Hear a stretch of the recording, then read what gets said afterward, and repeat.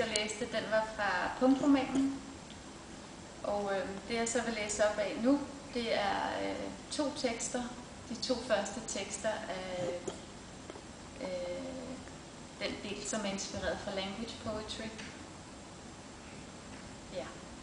Og den del hedder Hundene. Jeg behøvede ikke at drømme for at opleve noget virkeligt. Sådan søgte min stemme ustoppeligt efter hjælp. Døden indleder et hvert måltid som en tråd gennem livet. Den afgørende beskadigelse var tavs. Den dag vi var rige resten af vores liv, havde en smittende skepsis over sig.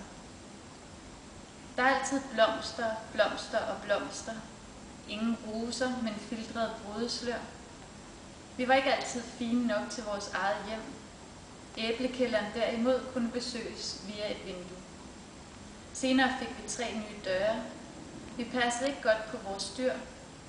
Ord rangerer højt i barndommen, men er underordnet tavshed.